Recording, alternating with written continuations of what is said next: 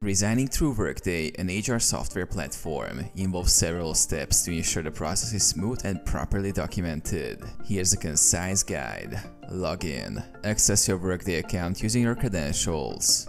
Navigate to Resignation. Go to your profile by clicking on your photo or icon. Select the Actions button.